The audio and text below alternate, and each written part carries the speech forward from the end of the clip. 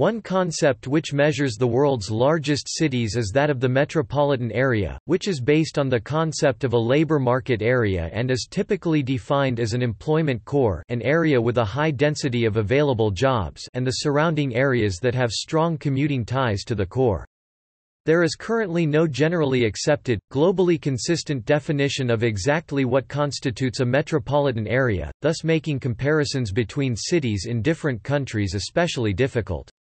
However, for consistency, the sources on this article include official figures from governments only. As an alternative to the metropolitan area, Eurostat introduced the concept of the larger urban zone in 2004. Similarly, OECD defines functional urban areas for cities in OECD countries.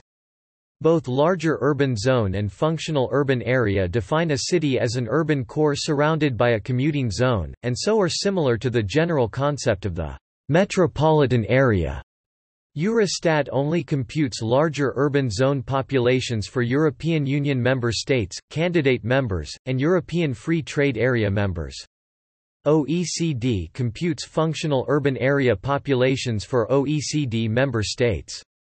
These two statistics are therefore not available for most developing countries.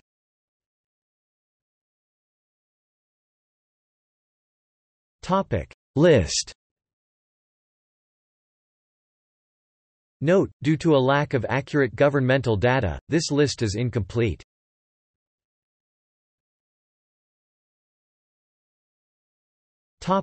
See also List of metropolitan areas that overlap multiple countries. List of urban areas by population. Topic. Lists of metropolitan areas by region. Africa. Americas. North America. Asia. Europe. South America Lists of metropolitan areas by country or region